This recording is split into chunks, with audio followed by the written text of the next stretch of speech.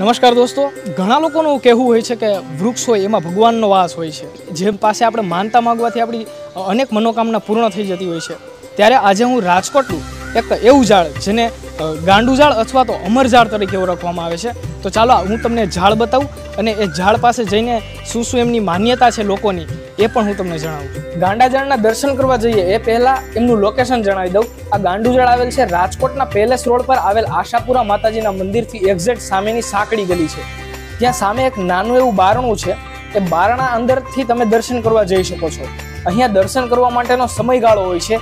એ સમયમાં તમે દર્શન કરવા અહીંયા આવી શકો છો. તમે જોઈ રહ્યા છો રાજકોટના રણજીત વિલાસ પેલેસમાં આવેલું ગાંડુજાળ અથવા તો અમર ઝાડ આ ગાંડુ ઝાડ રણજીત વિલાસ પેલેસમાં આવેલ તમામ વૃક્ષો કરતાં સૌથી મોટું અને સૌથી વિશાળકાય ઝાડ છે.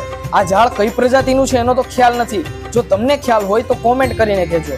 અને આવું ઝાડ તમે બીજે ક્યાંય પણ જોયું હોય તો પણ કોમેન્ટ કરીને કહેજો. આ વિશાળકાય ગાંડા અને અમર ઝાડ સાથે ઘણા બધા લોકોની આસ્થા અને શ્રદ્ધા જોડાયેલી છે. શું માન્યતા છે? ચાલો જાણીએ આપણે આ વિડીયોમાં.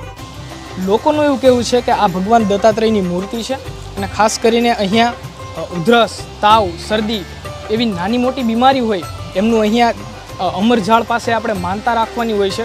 ગાંઠિયા ધરવાની અને જે તમારી માનતા પૂરી થાય પછી તમે અહીંયા ગાંઠિયા ધરી અને એવો કંઈક નિયમ છે કે અહીંયાથી જે પ્રસાદી ધરવા તમે લઈ આવો એ અહીંયા જ પ્રસાદી ખાઈને પછી નીકળવાનું હોય છે સાથે લઈ જવાતી નથી હોતી. અને જો દોસ્તો આ વીડિયો ગમ્યો હોય તો લાઈક કરો અને આવા જ વીડિયો જોવા માટે અત્યારે જ મને ફોલો કરે.